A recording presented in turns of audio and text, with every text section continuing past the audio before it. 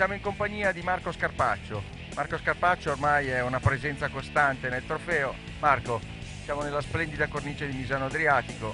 Il tuo B11 ancora orgoglioso cavalca questo nastro d'asfalto. Un tuo bilancio della stagione.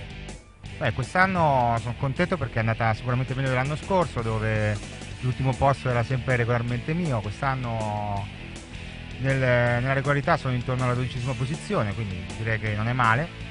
Come tra i guzzisti sono il quarto quest'anno, quindi sono contento, sono contento.